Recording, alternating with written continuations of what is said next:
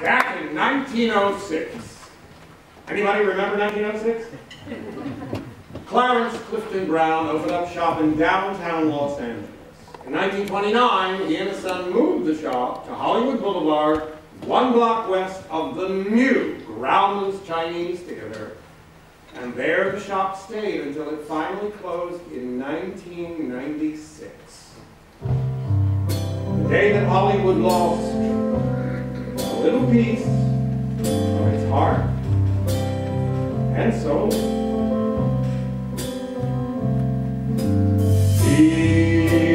C.C. Brown. Where we go for a hot fudge sundae, always made for a perfect ending to the end of a perfect evening, and the world would be so much sweeter, and we thought there at the end of those perfect evenings. C.C. Brown.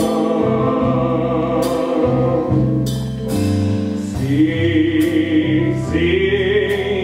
Brown. Just a scoop of vanilla ice cream with some whipped cream and roasted almonds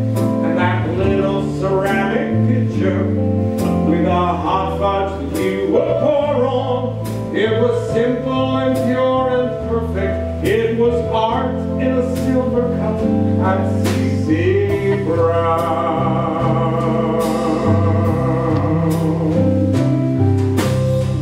Why can't things we love just last forever? Why do things we love just up and disappear?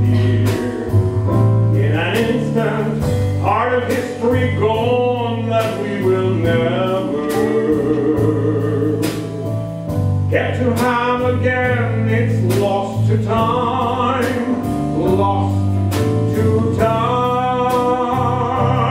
Time moves on, things move on.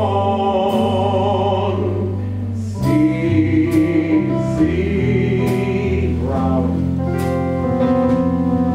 Ninety years worth of hot fudge sundaes.